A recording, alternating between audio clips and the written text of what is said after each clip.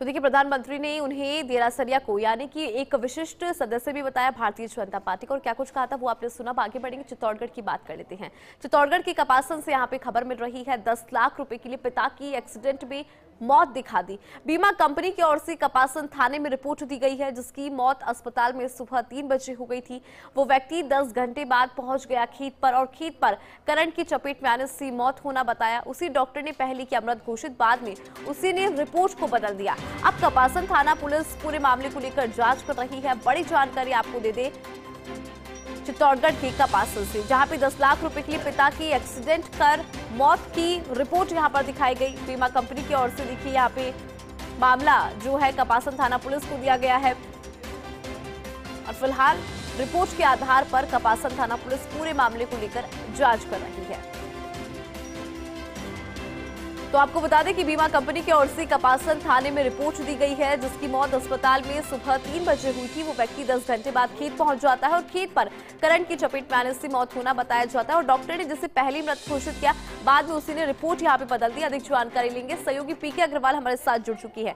पीके अग्रवाल, देखिए, बेहद अजीब ये मामला यहाँ पे सामने आया। पहले जिस डॉक्टर ने रिपोर्ट बनाई थी मौत की, उसी ने रिपोर्ट यहाँ पर बदली और फिर बाद में कपासन थाना पुलिस में यहाँ पे रिपोर्ट दे दी गई है। बीमा कंपनी की ओर से फ़िलहाल पुलिस की जाँच कहाँ तक पहुँची है और क्या है पूरा मामला?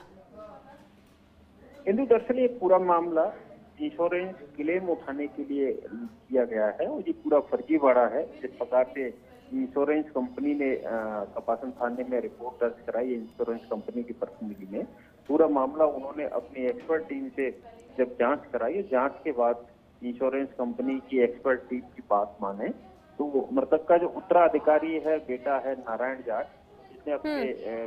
पिताजी का इंश्योरेंस कराया दस लाख रुपए का और उसका क्लेम उठाने के लिए ये पूरा फर्जीवाड़ा किया गया है जैसा बताया जा रहा है कि जो मृतक है वो पहले से बीमार था उसका उदयपुर के अस्पताल में भी इलाज चला था और जब पॉलिसी ली गई थी बीमा पॉलिसी ली गई थी तब उस बीमारी का ज़िक्र पॉलिसी में नहीं किया गया था जी। इसके अलावा जैसे रिपोर्ट में सामने आया है कि मृतक जो बद्रीलाल है उसको टीवी थी सीओपीडी की बीमारियाँ थी मतलब कई तरह की बीमारियाँ थी वो व्यक्ति जब गंभीर हो जाता है उसको हॉस्पिटल लाया जाता है कपासन अस्पताल और कपासन अस्पताल में उस व्यक्ति की सुबह तीन बजे मौत हो जाती है हम्म। लेकिन उसकी जब मेडिकल रिपोर्ट सामने निकल के आती है तो वापस उस व्यक्ति को दोपहर में साढ़े बारह बजे हॉस्पिटल गेट पे जाता है वो आदमी और वहाँ करंट की चपेट में आने से उसकी मौत हो जाती है और डेढ़ बजे जो हॉस्पिटल के डॉक्टर हैं वो डेढ़ बजे उसकी वापस रिपोर्ट बना देते हैं। कपासन तपासन सीएससी के डॉक्टर हैं सुप्रीम मीणा उनके ऊपर ये आरोप है। उन्होंने